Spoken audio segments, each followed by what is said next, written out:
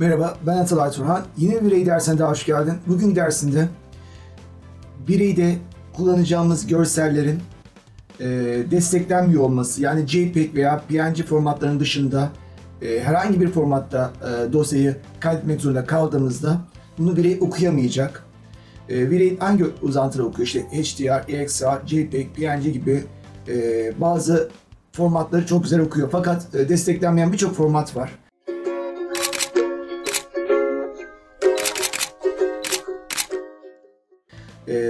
Sadece internet tarayıcılarında rahatlıkla görebildiğiniz formatlar.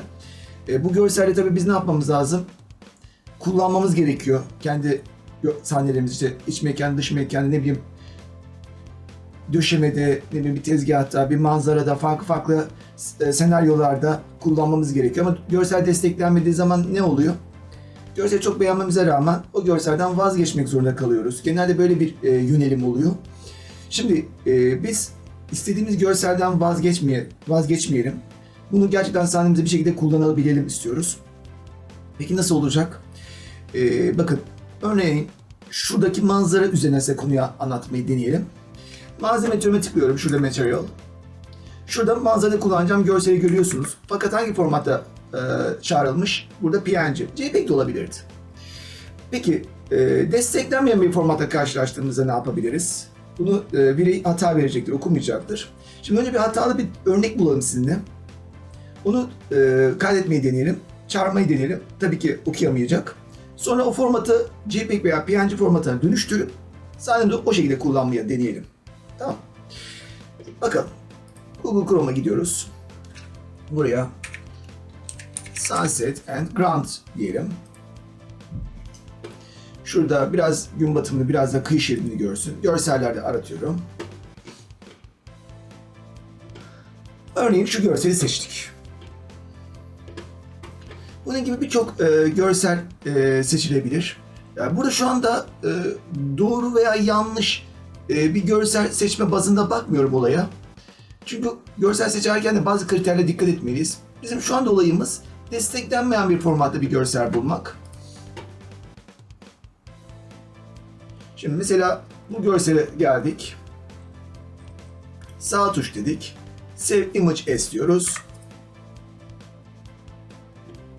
Şu anda bu JPEG desteklenen bir formatmış.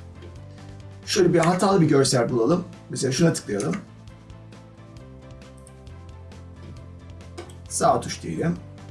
Save Image As diyelim.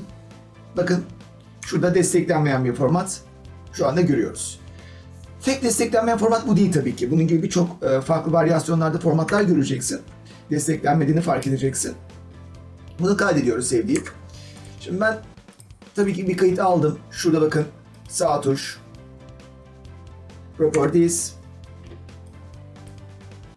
Details kısmına geldiğim zaman şöyle dosyanın desteklenmeyen bir format olduğunu görüyorsun. Bakın burada da ne yapmışım? Bunu desteklenen bir formata dönüştürmüş. Değil mi? Şimdi nasıl dönüştürdüğümü ben uygulamalı size göstereyim. Şurada 3 nokta yan yana var şu seçim sembolü. Şurada extension, uzantılar. Burada manage extension, uzantıları yönet diyorum. Uzantı yönet dedikten sonra burada e, formatı, e, dosyanın e, uzantısını görüyorsunuz bu uzantının. Bu uzantı bilgisayarınızda mutlaka kurulu olmalı. Kesinlikle böyle render motoruyla uğraşan arkadaşlarıma öneriyorum. Sadece birey olarak düşünmesine birçok render motoruyla birlikte kullanmaları iyi olur. Çünkü onlar da birçok görseli aynı bireyde olduğu gibi aratacaklardır. Şimdi bakın Save Image Type diye bir e, ismi var bunun. Bu form, e, uzantıyı mutlaka Google Chrome'uza eklenti olarak ekleyin. Bunu eklediysek, bu bilgisayarınıza kuruluysa e, bundan sonraki süreç şöyle olacak. Biz tekrar ana görselimize giriyoruz. Sağ tuş diyoruz. Ve buradan e, Save Image As diyoruz. Buradan Save Image As dediğimizde yine bize desteklenmeyen bir formatta gelir. Fakat siz bu eklentiyi kurduysanız biraz aşağı inmeniz gerekiyor.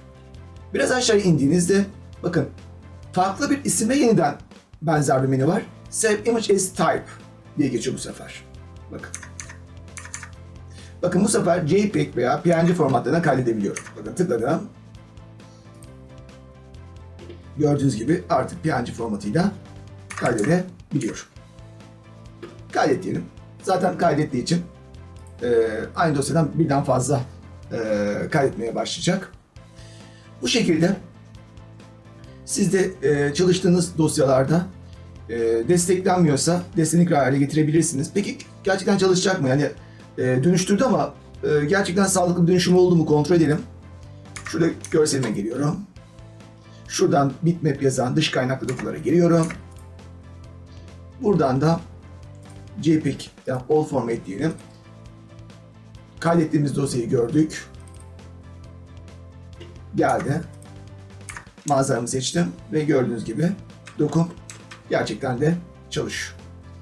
Dediğim gibi bu şekilde artık beğendiğiniz bir görsel olursa e, sırf format desteklenmediği için vazgeçip başka görsellere yönelmenize artık gerek kalmayacaktır. Bir problemi daha sizlerle birlikte çözmüş olduk. Bir sonraki derste görüşmek üzere. Şimdilik hoşçakalın.